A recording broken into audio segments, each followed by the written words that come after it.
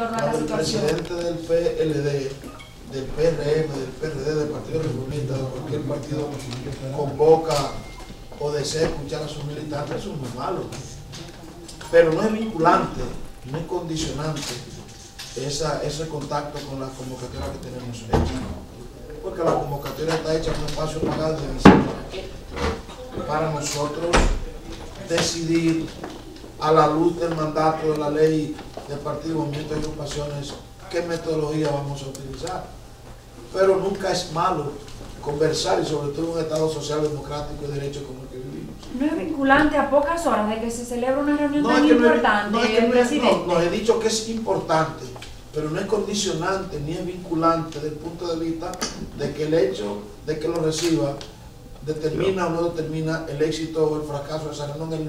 El éxito de esa reunión está dado por el interés general que tenemos nosotros frente de la dirección del Estado y el mandato de la ley de partido, movimiento y agrupaciones políticas. ¿Qué le El tema de la reelección, presidente, podría tratarse en la reunión del sábado. Ya el presidente dijo que va a hablar de eso en marzo.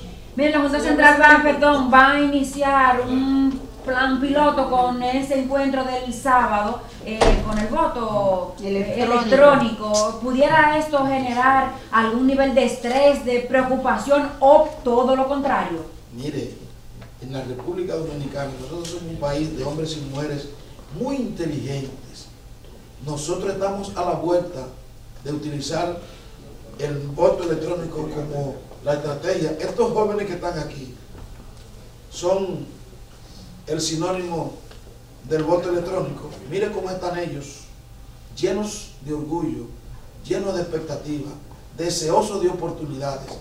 El pueblo dominicano tiene hoy Quisqueya aprende contigo para que los hombres y las mujeres que no pudieron aprender a leer lean, escriban y entonces cuando vayan a votar también lo hagan mucho más. ¿Trastornaría o no ese, ese voto electrónico en la reunión del sábado? No, de Es que no me manera. respondió. No, de ninguna manera. Lo que yo quiero decirle es que nosotros vivimos en una coyuntura de reforma y transformación y nada que contribuya a fortalecer la participación, la transparencia, la rapidez y la eficacia, podemos estar en contra de ello. Última pregunta, última pregunta.